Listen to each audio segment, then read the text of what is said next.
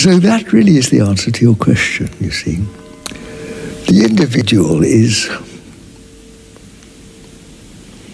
Is it of use or is it useless?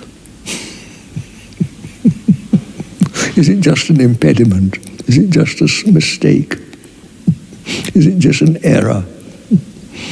A child of darkness was, was Christianity describes a child of